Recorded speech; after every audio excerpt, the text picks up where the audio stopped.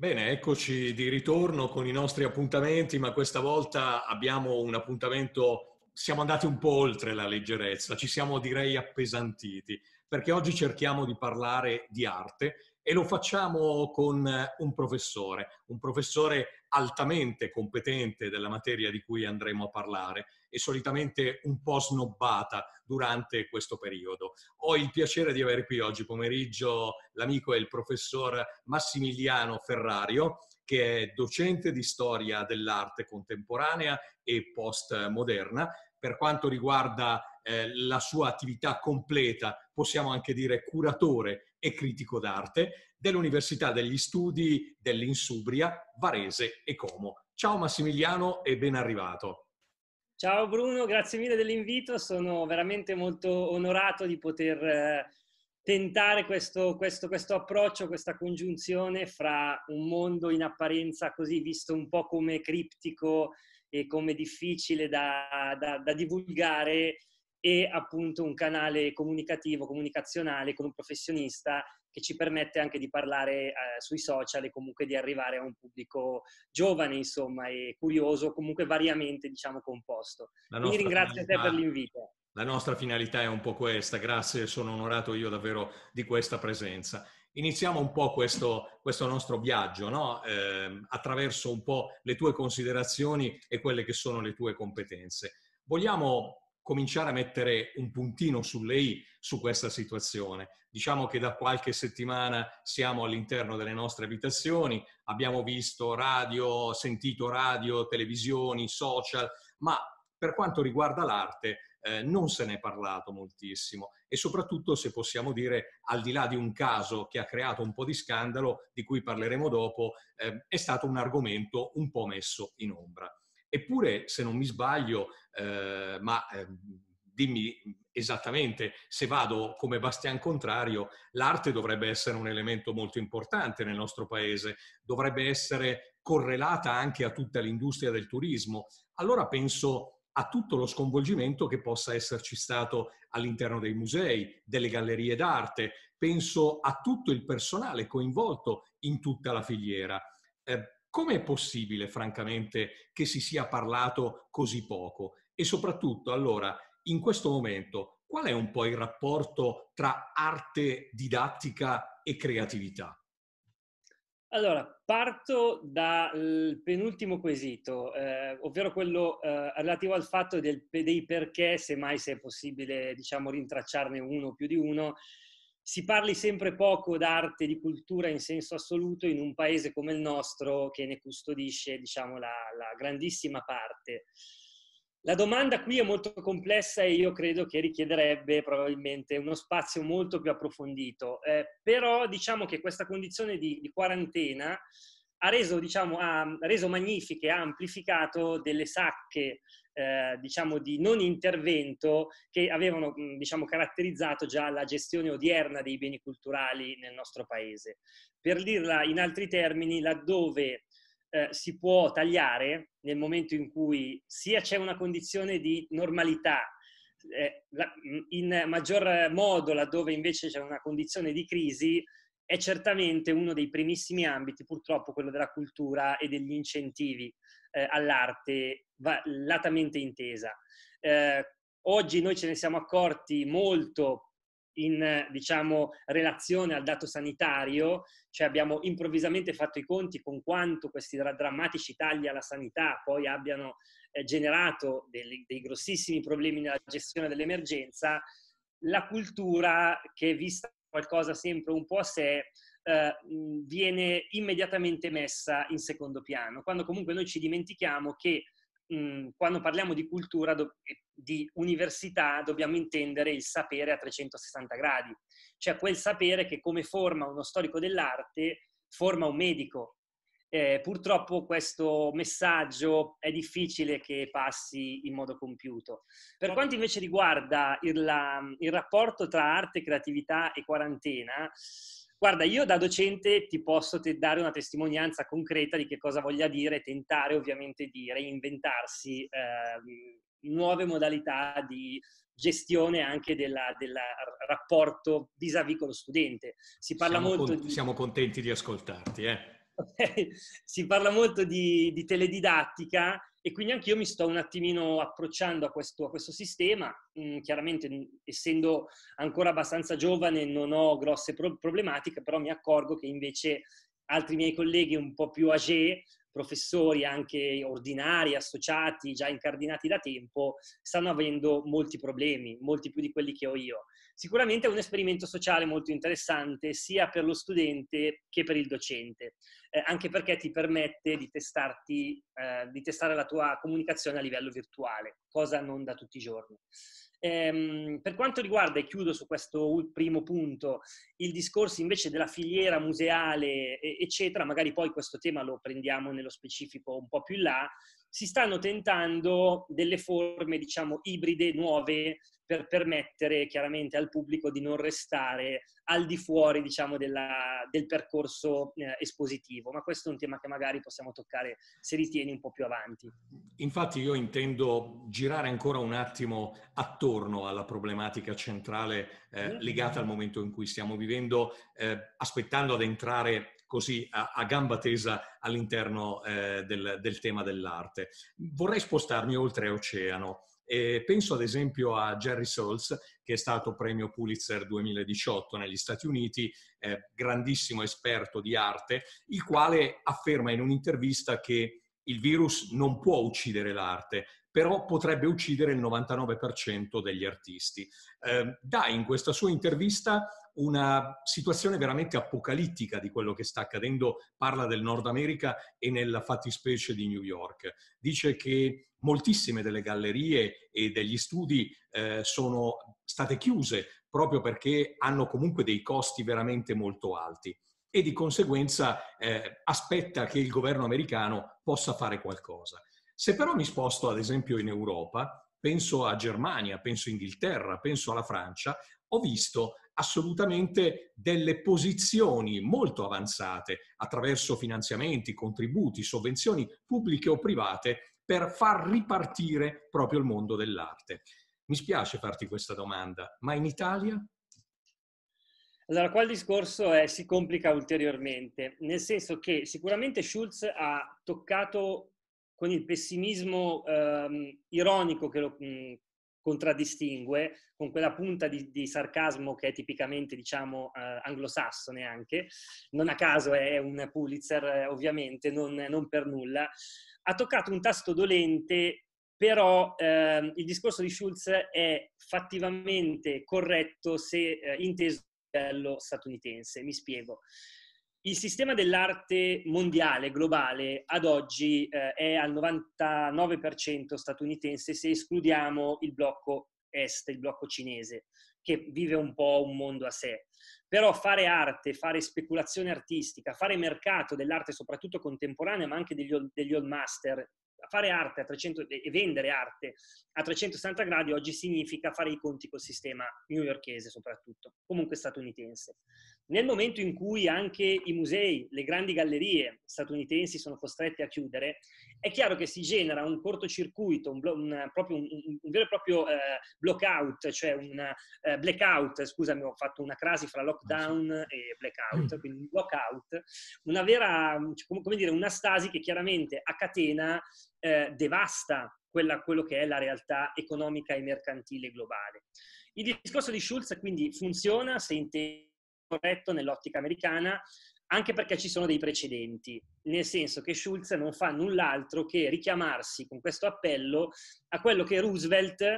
eh, aveva fatto mm, mm, eh, negli anni eh, immediatamente successivi alla grande eh, depressione del, del 29, nell'ottica del New Deal, aveva fatto eh, in merito al rilancio proprio della componente eh, storico-artistica, soprattutto con finalità mercantili, perché sono da sempre nel DNA del mercato appunto statunitense. Cosa aveva fatto Roosevelt? vista la moria totale che eh, circondava il mercato dell'arte aveva eh, stanziato, stampato, iniettato nel mercato moneta appositamente finalizzata a promuovere eh, mostre pubbliche, eh, sagre, eh, contest, conferenze, cioè mh, vetrine, a creare vetrine dove letteralmente migliaia di artisti, tra cui anche eh, nomi che poi sarebbero di- diventati dei colossi, cito eh, Jackson Pollock, Mark Rochko, eh, Ad Reinhard eh, e molti altri, cioè lo zoccolo duro che poi avrebbe costituito la scuola di New York eh, degli anni 50, 40-50, è stata generata grazie al piano di Roosevelt. Ora noi sappiamo che un discorso come questo non può in alcun modo essere eh, importato to cure in un contesto come quello europeo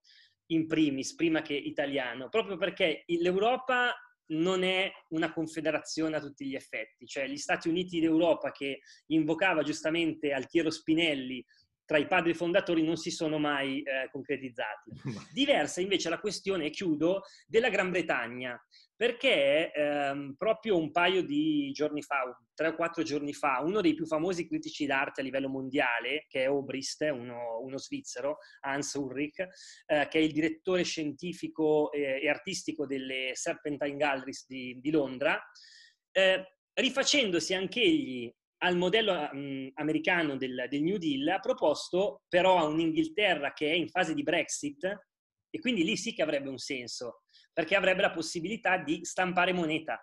Ha proposto proprio questo, cioè un ingente piano di investimento pubblico a sostegno del mercato dell'arte, dell'indotto. La Francia e la Germania sappiamo che sono delle realtà che agiscono in sintonia, anche a livello economico. L'Italia, nonostante sia la patria eh, dell'arte, non lo è per quanto riguarda le politiche illuminate invece di stanziamento. E, e, mi fermo qua, penso di essere stato chiaro. E io aggiungo solo, insomma, forse siamo addirittura al buio, ma comunque eh, nonostante il grande patrimonio universale che abbiamo all'interno del nostro paese. Vorrei tornare velocemente al tema di Sgarbi, perché è stato sì. proprio lui, francamente, ad aver avuto questo tipo di eh, problema e a lanciare questo tipo eh, di scandalo. Come stavo dicendo, ehm, Sgarbi è intervenuto in maniera pesante ehm, a difesa dell'arte e soprattutto dell'apertura dei musei me- e contro eh, il diktat dato dai eh, virologi italiani. Ehm, poi ha un po' ridimensionato le sue posizioni. Adesso negli ultimi giorni è tornato a richiedere l'apertura dei musei. Volevo chiedere un tuo parere in merito a queste dichiarazioni, ma soprattutto se vuoi entrare un po' nel concetto di questa libertà che lui ha inteso facendo queste affermazioni in maniera forse un po' troppo forte all'inizio della sua prima entrata eh, nell'opinione pubblica. Allora, mh, conosciamo il personaggio di Sgarbi, che chiaramente è un personaggio mh, che ha, ha generato sulla sua capacità, oltre che comunicativa, ma diciamo di provocazione, eh, ha creato proprio il mito del personaggio Sgarbi. Eh, Sgarbi però, in effetti, essendo un personaggio eh, dicotomico, è abile nel, oltre che nel fare gaff clamorose delle quali poi tendenzialmente è costretto a pentirsi. E questa è stata probabilmente la, una delle rarissime volte in cui veramente ha dovuto fare una retromarcia sincera perché la sottovalutazione iniziale è stata francamente esagerata. Però di questo non voglio parlare. Il tema che ha posto eh, sulla... Mh, che ha posto in un certo modo, cioè che a, mio avviso Sgarbi ha perfettamente ragione, però adesso cerco di dare anche una, come dire, una conferma costituzionale al discorso di Sgarbi, oltre che magari di pensiero e filosofica, magari appoggiandomi anche a qualche piccola frase detta già da altri. Sgarbi dice giustamente che um, eh, il bene culturale in Italia, quindi la possibilità per il singolo di accedere a una mostra d'arte, la possibilità per il singolo, per un gruppo, per, per le persone di entrare in una chiesa, eh, credenti o meno, di apprezzare un affresco, di rendersi conto della bellezza di una scultura barocca. Quindi tutte queste possibilità sono state negate dal lockdown eh, soprattutto in fase di emergenza piena, cioè quando l'Italia era sostanzialmente zona rossa. Eh, nel momento in cui eh, si esce un attimino dal plateau, dal picco, no? Dalla, e si passa alla, alla famosa fase 2, Sgarbi semplicemente dice perché non gestiamo l'accesso ai musei, alle grandi mostre, alcune delle quali non, non hanno neanche fatto in tempo ad aprire, per esempio quella eh, mirabile su eh, Raffaello, perché non consentiamo un accesso contingentato. Cioè, se l'accesso è contingentato in ambito di eh, acquisto di beni di prima eh, necessità, quindi nei supermercati, nelle farmacie, addirittura nei tabacchini, eh, che è abbastanza un cortocircuito intellettuale e anche etico, perché non lo facciamo a maggior ragione a livello museale che di per sé è un contesto che non si presta ad assembramenti, diciamo, da stadio già di suo. Quindi Sgarbi dice questo, ma io aggiungo qualcosa. Noi dovremmo riflettere proprio sulla nozione di bene culturale. Perché si chiama bene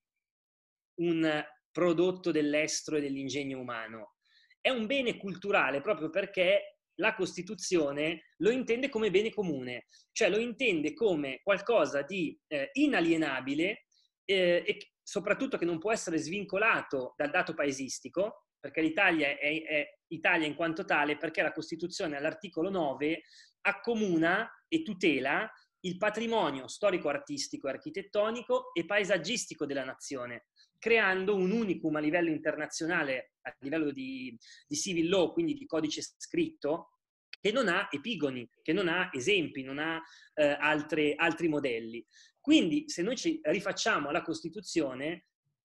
eh, Sgarbi ha perfettamente ragione. Il bene culturale è un bene di prima necessità, proprio perché il nutrimento dell'anima, dello, del, del, dello spirito, al pari di quanto un tozzo di pane o un litro di latte lo sono per il corpo.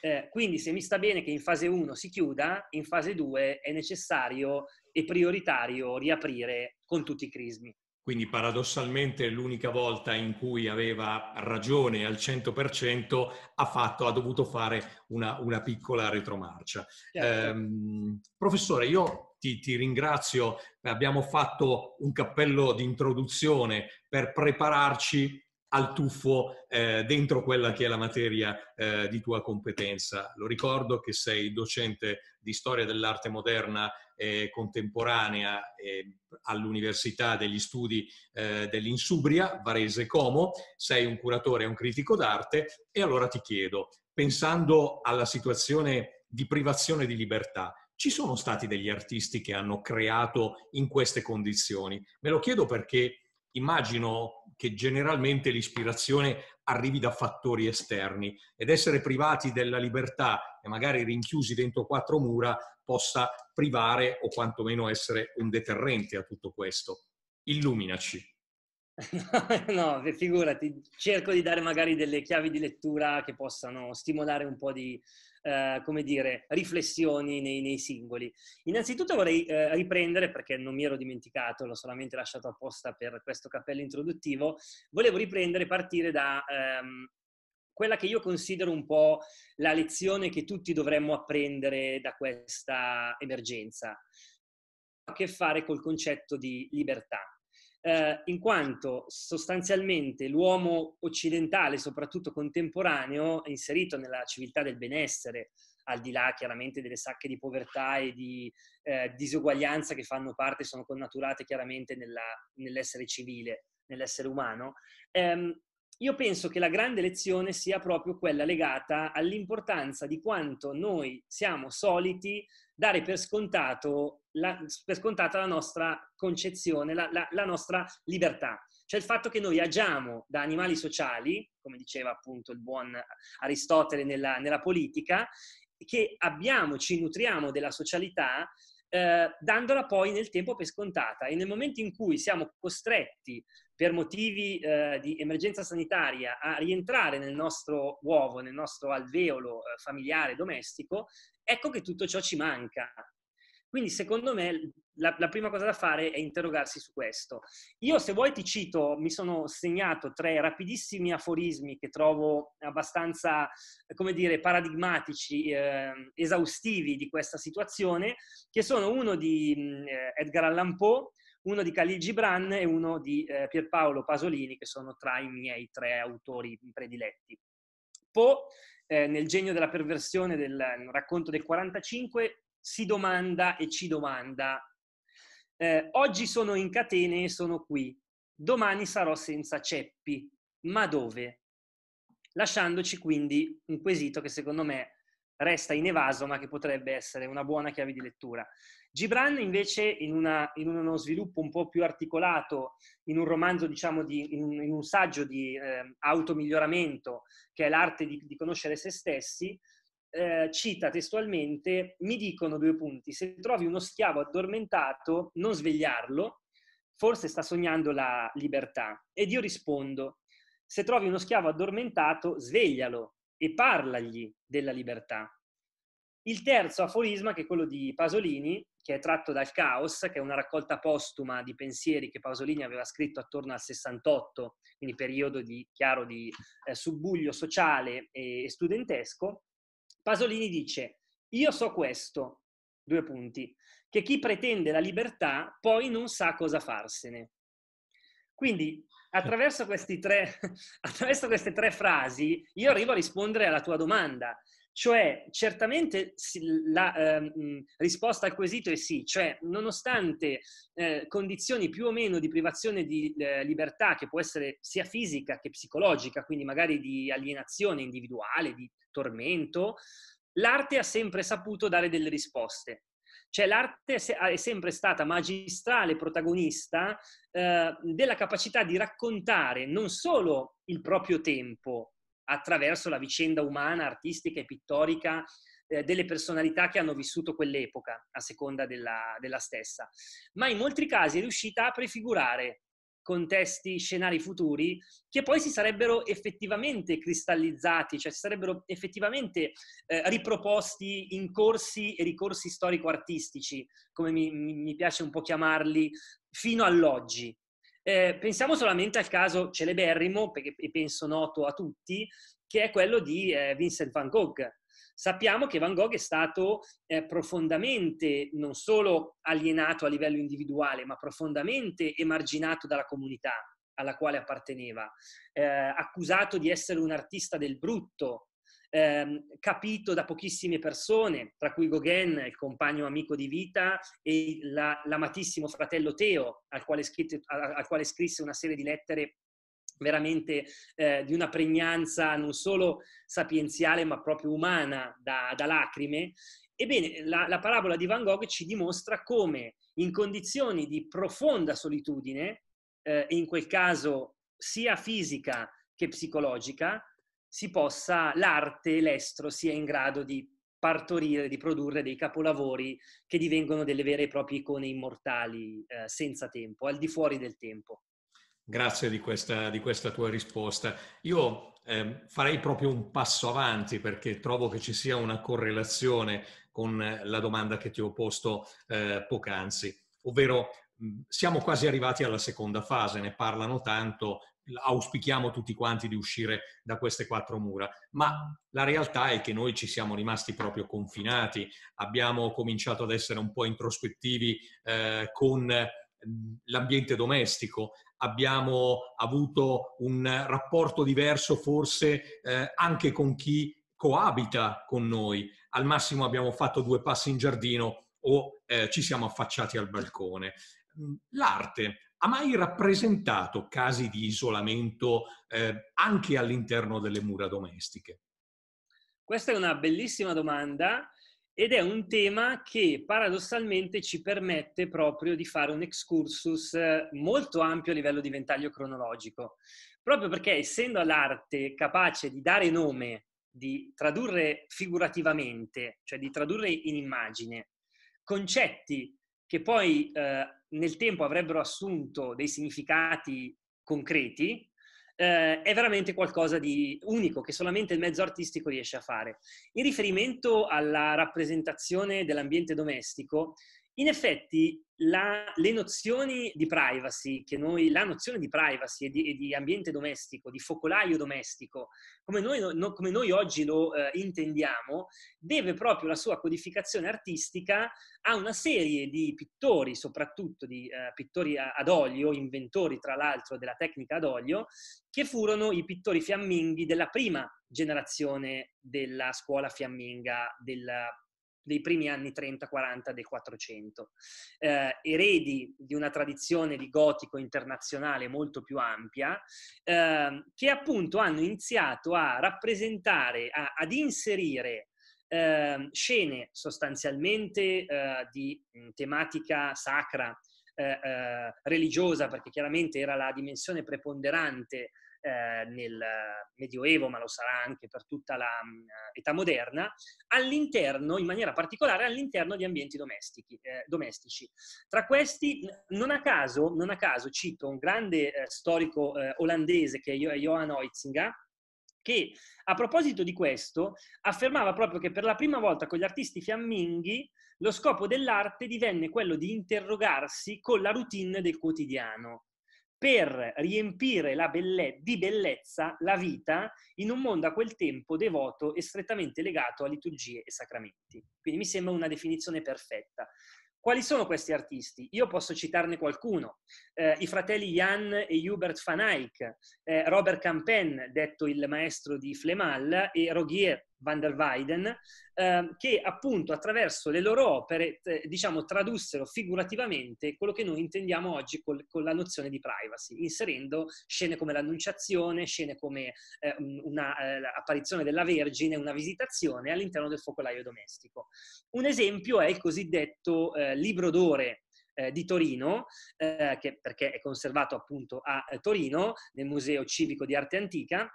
che è un codice miniato, un libro di preghiere, che è di origine tardo eh, trecentesca, del 1390 circa, eh, che vide proprio protagonista eh, Jan van Eyck, autore di una delle pagine eh, decorate, miniate più interessanti eh, dell'intero codice, dove la, la,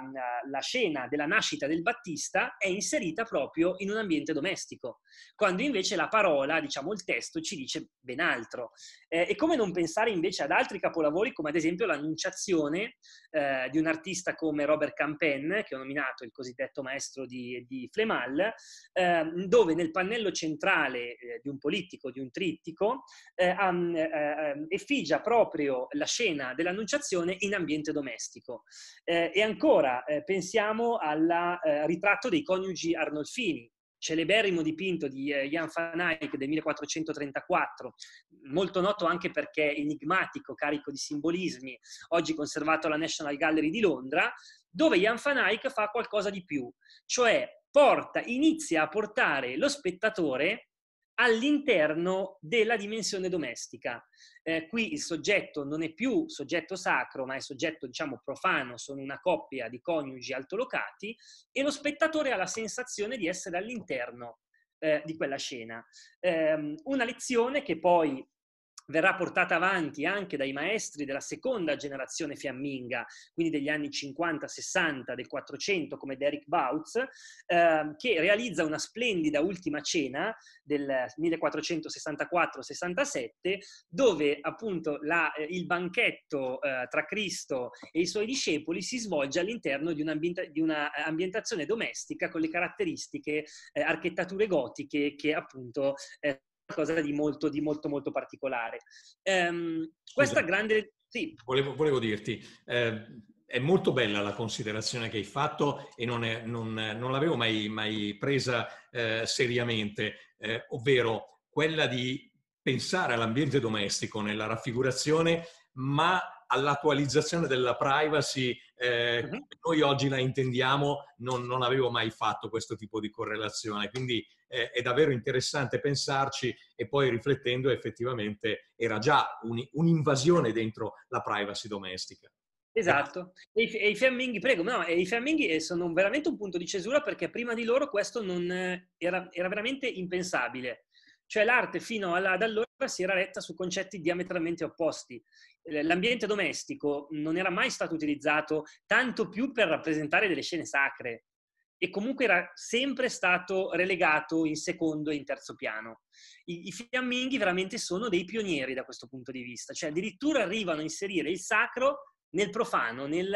profano del domestico, facendo, compiendo un balzo in avanti a livello proprio di modernità e di visione oltre sempre per tornare alla capacità dell'arte di prefigurare scenari eh sì. ben più, come dire, lungimiranti, che poi in effetti sarebbero stati colti da altri artisti nel corso dei secoli. Io ne cito uno fondamentale a mio avviso proprio per questa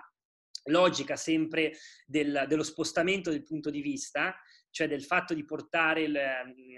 come dire, l'osservatore del, del, quadro sempre più all'interno dell'opera stessa, che è il grande, il grandissimo Diego eh, Velázquez, eh, sommo interprete del eh, barocco eh, spagnolo, eh, grande soprattutto ritrattista di corte per la corte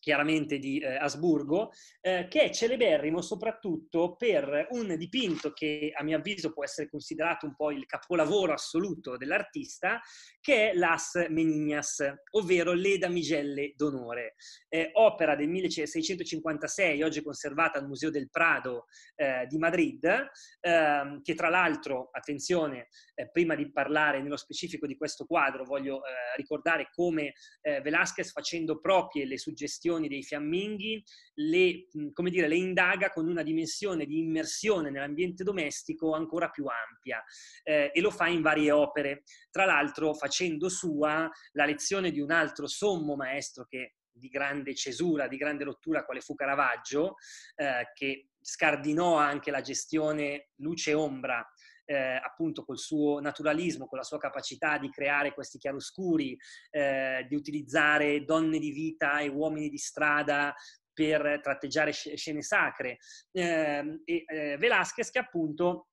verrà poi omaggiato da molti artisti nel corso dei secoli, da Van Gogh stesso a Picasso a Salvador Dalí, eh, ehm, si occupò proprio della tematica dell'indagine domestica in opere come ad esempio la vecchia eh, eh friggitrice di uova, eh, un quadro del 1618 oggi alla National Gallery di Edimburgo, eh, dove Velázquez appunto eh, tratteggia questa umilissima condizione di reclusione nella propria dimora ehm, con questa vecchia signora intenta a friggere delle uova, come ci dice il titolo, immersa in questa penombra e eh, aiutata, diciamo, nelle operazioni dal nipote eh, che spunta proprio dalla, dalle tenebre per porgerle del vino e, e una zucca, ma anche in altre opere come ad esempio il tema eh, dei eh, bevitori, eh, de, eh, degli eh, ehm, agricoltori, del pranzo proprio delle, delle, delle umili persone riunite eh, attorno a un tavolo, oppure il tema della domestica. Quindi tutte queste tematiche diciamo, di cultura popolare, soventemente inserite all'interno proprio di focolai domestici, che Velázquez mutua proprio dal grande lascito fiammingo. Con Las Menignas fa qualcosa di più, eh, con quest'opera straordinaria del 1656 al Prado di Madrid, lui riesce a spostare il punto di vista ulteriormente rispetto ai fiamminghi. Innanzitutto la scena rappresenta la vestizione, eh, cioè proprio l'atto di vestire, la primogenita eh, della coppia reale, l'infanta Margherita, che è questa bellissima bambina bionda eh, vestita con la moda del tempo, quindi con la, con la gonna gonfia no? a, a, a, a, turbante, eh, che è assistita da queste damigelle e che mh, risalta per la sua grazia, per la sua fragilità anche accentuata dal capello molto biondo. Ebbene, a questo spaccato, diciamo, etereo di, che trasuda anche eh, nobiltà, Velázquez inserisce dall'altra parte per controbilanciare in questo gioco di specchi continuo la figura della nana, della serva, che è volutamente descritta con tratti somatici quasi eh, grotteschi, caricaturali. Eh, nana davanti alla quale è collocato il mastino, appunto, in questo gioco di eh, bruttezza, diciamo di bruttezza, di, come dire, di bestialità eh, nella quale si ricalca, eh, della, chiaramente del mastino, nella quale si rispecchia un po' questa figura eh, un po' deforme della nana. Invece la bambina fa da contraltare. La cosa geniale di quest'opera, oltre al fatto che l'artista eh, Velázquez è, si autorappresenta al centro della scena, eh, mentre sta ritraendo, ritra, ritraendo i coniugi regali che sono tra l'altro visibili allo specchio proiettato sul fondo che noi vediamo. Quelle due persone che vediamo nello specchio nient'altro sono che i coniugi che sono esattamente dove siamo noi che osserviamo l'opera. Quindi questa, questo colpo di genio eh, di portare lo spettatore non solo all'interno dell'opera, ma di portarlo nel punto di vista privilegiato che è quello dei, della coppia reale eh, e quindi un modo per nobilitare in maniera clamorosa il fruitore che è, è, come se in quel momento è oggetto del ritratto stesso di eh, Velázquez. Quindi veramente un colpo di genio clamoroso, mi viene da dire. veramente, veramente molto, molto interessante e credo che ci sia un profondo arricchimento culturale con queste tue esposizioni e soprattutto anche mentre parliamo eh, chi ci sta seguendo avrà potuto vedere anche le immagini e capire certo. le descrizioni che tu hai fatto. Vorrei fare ancora un passaggio importante, eh, vorrei farlo ulteriormente tangibile, ovvero ehm, fino a questo momento abbiamo comunque spiegato che c'è una certa situazione che ha creato un determinato danno eh, all'arte, ma anche un disagio, eh, soprattutto verso chi eh, era appassionato, chi era abituato a frequentare gallerie, musei, eccetera, eccetera. Bene, mh, mm, abbiamo anche saputo che a livello internazionale, eh, non lo so, a livello italiano forse in maniera un po' più ridotta, tutti coloro che avevano in procinto grandi eventi per quanto riguarda l'arte delle mostre sono stati in grado velocemente di riconvertire in qualcosa di virtuale per continuare materialmente a dare quella possibilità d'accesso e come dico io probabilmente a, ad affamare eh, coloro che materialmente erano abituati o avevano già acquistato i biglietti. Eh, bisognava però in tutte queste trasposizioni fatte dai telegiornali o da qualche raro servizio essere subito pronti con carta e penna perché non riuscivamo chiaramente a prendere nota di quello che accadeva. Approfitto della tua presenza qua. Eh, sicuramente tu sei al corrente di quelle che erano le più importanti a livello internazionale e magari anche italiane, eh, dacci con tutta la calma possibile un panorama di quali sono queste mostre o di questi eventi così importanti che noi poi possiamo vederci virtualmente attraverso la rete. Allora, come ho anticipato all'inizio, senza dubbio l'evento artistico dell'anno, proprio perché ne celebra, ne celebra i 500 anni dalla, dalla, dalla scomparsa, è la mostra dedicata a Raffaello Sanzio, allestita presso le scuderie del Quirinale di Roma, mostra che poverina ha aperto e poi è stata subito costretta a chiudere. Tra l'altro, veramente la mostra antologica più, più importante mai fatta sul sommo protagonista della, della, pittura rinascimentale italiana e mondiale, che ehm, è stata riconvertita mh, nella formula del tour digitale. Tour digitale che però ehm, mh, e qua bis- si potrebbe fare delle piccole annotazioni. Tour digitale che eh, è stato pensato nella formula del, dell'audioguida, cioè del tour guidato, eh, una, una, sorta di filmato in loop, anzi io visito chi ha la possibilità chiaramente di, si clicca semplicemente Raffaello mostra eh, e si può entrare nel sito delle scuderie, si può fare il giro virtuale, quindi del tour eh, fisico dove tu ti muovi fisicamente però all'interno di un video non sei tu che hai la possibilità con software magari di realtà aumentata di sì. girare all'interno del, del, museo, cosa che invece accade in altri contesti, che poi citerò. Nel, nel caso di questa mostra, forse perché siamo italiani, forse perché siamo un po' refrattari a desacralizzare un po' eh, no, certi miti iconici, pittorici, però si è scelta questa formula dell'audioguida e, e del video, diciamo, che ti puoi vedere praticamente in loop con la, cura, con la, con la, con la guida, con la storica dell'arte che opera per opera ti spiega chiaramente quello che stai vedendo. Come, come se noi, eh, diciamo, in condizioni di normalità andassimo in un, museo, in, in un museo e ci mettessimo le nostre cuffiette per apprezzare ciò che stiamo vedendo. Quindi questo è il caso chiaramente a livello italiano più eclatante. Molto invece differenti sono altri contesti, eh, soprattutto statunitensi e comunque anglosassoni in senso assoluto. Eh, proprio in questi giorni, infatti, è stata eh, inaugurata la mostra di eh, Edward Hopper, eh, che è uno dei più grandi interpreti eh, proprio di questa condizione anche di alienazione sociale e di solitudine, proprio sommo interprete del realismo esistenziale americano della prima metà degli anni 50 del XX secolo, eh, mostra per la quale è stato pensato un corto, cortometraggio 3D girato dal grande eh, regista eh, svizzero Wim Wenders, che ha, eh, che ha, appunto creato questo prodotto dal titolo Due o tre cose che io conosco a proposito di eh, Edward Hopper, che è eh, appunto la trasposizione delle opere di Hopper, quindi di quegli spaccati, magari poi se vuoi possiamo parlarne, di quegli spaccati di ehm, solitudine, ma che è una solitudine che Hopper va a cercare nella quotidianità, che non cercherebbe mai in una condizione di cattività forzata come la nostra. Quindi Hopper andava a indagare quello. Ebbene, Winders è riuscito a rendere, a, a, a dare vita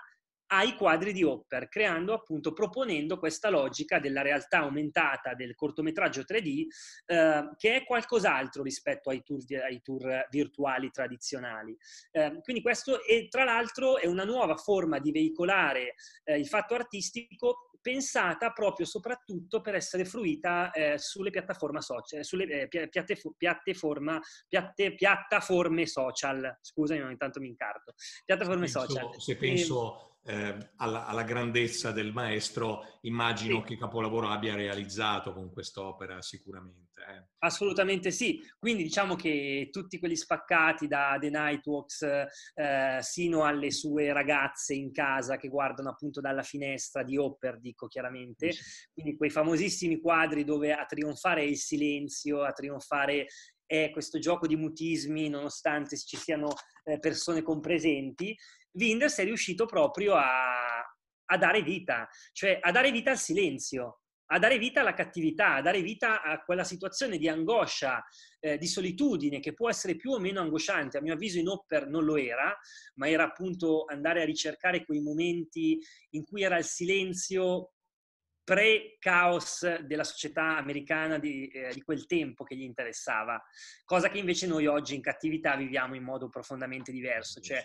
quando guardiamo dalla finestra noi non siamo una ragazza di Hopper. Eh, quindi certamente quello del cortometraggio 3D è una nuova frontiera. Eh, esistono poi anche altre, altre, diciamo, altri tentativi di eh, innovazione, eh, dai contest che stanno spopolando in rete, eh, alle più svariate, ai più svariati collage, anche ironici, satirici, dove vediamo quadri opportunamente reintitolati re, eh, per essere aderenti al tema coronavirus, il bacio di Hayez con la mascherina, eh, opere di street art di Banksy eh, con le boccette di Amuchina in mano. Quindi tutto questo tam tam che rimbalza chiaramente sui social e che diviene, come dire, virale, non a caso. Quindi torniamo lì. Proprio di oggi è l'immagine di Bansky dentro il proprio bagno, eh, dove ha realizzato addirittura anche con delle, delle, delle tempere eh, una, un soggetto particolarissimo. Eh, sì calcando ed evidenziando un po' l'ira e l'irritazione della moglie che non lo sopporta più appunto all'interno della casa. Però esatto. Con, con, con, l'immancabile Topino che lo, che lo contraddistingue. Sì, sì, sì. Eh, veramente, no, beh, Banksy diciamo che sa sempre essere un magistrale interprete dei fatti del, del contemporaneo. Eh, lui c'è, quando, quando, accade qualcosa siamo tranquilli che Banksy qualcosa per tradurlo figurativamente lo farà, quindi si, si tratta solo di attenderlo. Allora, se sugli eventi eh, abbiamo chiuso, io avrei un passaggio eh,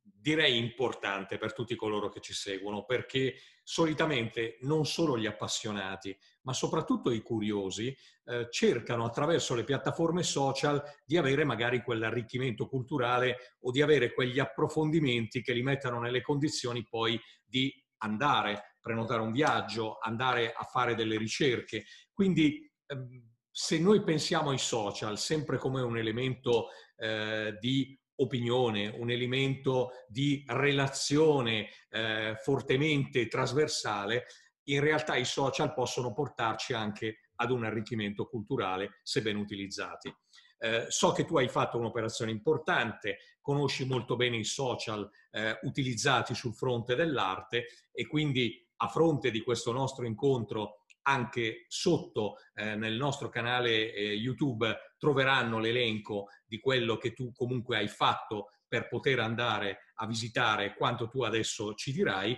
e vorrei che tu entrassi proprio in questo punto, i social e l'arte. Eh, questo, è tema, questo, è un tema, enorme, eh, è un tema nuovo anche a livello proprio di ricerca scientifica, accademica, nel senso che chi si occupa di storia dell'arte contemporanea e di veicolazione del fatto artistico eh, deve per forza di cose fare i conti con i nuovi media eh, e soprattutto con la cross-medialità che ormai è un dato, diciamo, eh, caratteristico del nostro tempo. Eh, io non sono fra i... cerco sempre di non, come dire, di non creare fazioni, eh, cioè non, quando mi trovo di fronte alle famose mostre che vanno molto adesso di realtà, per esempio, aumentata, eh, di experience, mostre immersive, che spesso sono anche pensate, attenzione, per essere poi riproposte proprio sui social attraverso video, attraverso esperienze multisensoriali, eh, non sono come, sarà anche perché forse il dato anagrafico mi, mi aiuta, però mi rendo conto che alcuni miei colleghi, eh, anche contemporaneisti, fanno fatica a considerare quelle forme, quelle, diciamo, quei tentativi di come dire, ingigantimento eh, del fatto artistico non opera d'arte, cioè il fatto che non sia esposta alla Klimt Experience, che non sia eh, esposto il quadro di Klimt, ma proiettate pare- sulle, sulle, pareti con dei suoni, con delle musiche, creando queste atmosfere suggestive, eh, dei dettagli di opere di Klimt, secondo me non significa non fare arte, significa semplicemente utilizzare il, il fatto artistico in sé, eh, quindi l'opera d'arte, il quadro che è conservato in un museo, per creare un'esperienza fruibile in maniera diversa, in maniera innovativa. Quindi dal canto mio sono un difensore di queste sperimentazioni e eh, trovo che i social, se ben utilizzate, eh, utilizzati, riescano benissimo a far capire anche la bontà di certi, eh, di certi esperimenti. Eh, per quanto riguarda invece l'utilizzo del social come eh, strumento esso stesso, eh, non solo di veicolazione mh, della, dell'immagine, chiaramente i ehm, riferimenti a Instagram, a Pinterest, sono, a Facebook ovviamente, ma soprattutto Instagram e Pinterest sono ovvi. Ma esistono anche social network pensati proprio per l'artista eh, e per l'appassionato d'arte, eh, per colui il quale magari sogna un domani eh, di diventare il nuovo Pollock o sogna un domani di diventare il nuovo Picasso. Eh, ci crede fino in fondo e dice eh, magari, purtroppo non è, non, è, non è, così semplice, soprattutto nel nostro paese, però essendo questi social piattaforme free eh, a livello interna- cioè, fruibili a livello internazionale, la logica comunque della visibilità, chiaro, segue degli algoritmi eh, anche a livello di SEO, eccetera, però è potenzialmente globale. Eh, quindi al di là dei social canonici esistono eh, e che ci consentono i social canonici come Facebook ovviamente di andare anche ad approfondire le pagine dei magazine eh, specializzati che chiaramente hanno sistematicamente la loro pagina Facebook, da Art Tribune a Exibart a Finestre sull'arte, potrei citarne molte ma soprattutto eh, sono, esistono dei social pensati per gli artisti. Io ho fatto un, un, elenco, come sai, molto più dettagliato e che magari poi evito adesso di eh, sciorinare perché sarebbero nomi vuoti. Dico solo un po' qual è la logica di questi social. E appunto quella, posso farti dei nomi, i, i, i maggiori sono eh, Dantebus, sono eh, UBQ Art e sono Wider e Gigarte. Sono i quattro li maggiori. Trovano, li trovano come esatto. documentazione e quindi okay. li prendono. Sono i quattro maggiori social network destinati, pensati per i creativi, per gli artisti, che vogliono condividere in piattaforma eh, ad addetti ai eh, lavori con un accesso sostanzialmente free, che poi è implementabile chiaramente con eh, account premium, alcuni però sono completamente free, per esempio Dantebus è una sorta di Facebook veramente per gli artisti, quindi è completamente free. Altri eh, consentono anche diciamo delle funzionalità, offrono delle funzionalità a pagamento, eh, ma comunque hanno una base di eh, free using, quindi sono accessibili a tutti e ti permettono di entrare in diretto contatto in rete con, oltre che con altri artisti, quindi di creare circuito, ma soprattutto con galleristi, con mercanti a livello italiano, europeo e anche internazionale. Poi chiaramente si seguono delle logiche particolari e bisogna anche avere un po' di fortuna come in tutte le cose, però sono delle vetrine che molti non considerano, magari perché non conoscono, ma che in realtà esistono e che permetterebbero a, all'artista che sogna, che sogna di vivere della propria arte, magari al giovane ragazzo, ma anche all'artista più maturo, eh, che sognerebbe di vivere della propria arte, ma che purtroppo va sistematicamente a sbattere contro un sistema qual è quello del mercato dell'arte che in Italia è veramente morto, cioè non è morto e stramorto, eh, quindi bisognerebbe guardare altrove, tipo Francia, Germania, Inghilterra sono molto molto più attive, non si sa perché, ma l'Italia su questi fronti è veramente tabula rasa. E, e che però consente all'artista magari di poter condividere veramente in modo professionale e su delle piattaforme specialistiche i propri lavori, magari intercettando, perché no, il critico piuttosto che il curatore, io stesso sono fruitore, eh, mi occupo di questo, eh, faccio faccio mostre, sono curatore eh, e quindi perché no, magari un domani mi, potrei imbattermi in un giovane artista del territorio e inserirlo all'interno di un eh, ciclo di, di, mostre che facciamo come in Subria, dedicati proprio a, agli artisti del territorio e quindi questo artista che sbaglio visto su un social di questi potrebbe trovarsi improvvisamente ad avere un minimo di visibilità. Poi da lì a diventare, mh, torno a dire, eh, il nuovo Andy Warhol ce ne passa, però eh. sono comunque degli ottimi strumenti, insomma. Bene, Max, io sono veramente onorato di averti ospitato e spero che questa sia magari eh, la prima conversazione che noi facciamo sull'arte per cercare di stimolare un po' anche eh, il target più giovane ad avvicinarsi eh, verso questo, questo, elemento importante, ripeto, che noi italiani abbiamo un po' nel, nel DNA. Eh, ricordo comunque che tu utilizzi in maniera propria anche le piattaforme social, quindi certo. mentre parliamo magari vanno in sovraimpressione anche i riferimenti eh, dei tuoi profili. Ricordo materialmente eh, magari anche un contatto mail e ringrazio il professor Massimiliano Ferrario, eh, docente di storia dell'arte contemporanea e postmoderna dell'Università degli Studi dell'Insubria, Varese e Como, per essere stato mio ospite e nostro ospite quest'oggi e mi auguro di ritrovarti eh, prossimamente ancora parlando di arte. Grazie Massimo. Io ringrazio te Bruno, sono stato onorato di, di, poter essere protagonista con te di questo primo appuntamento, sei stato un direttore d'orchestra veramente perfetto.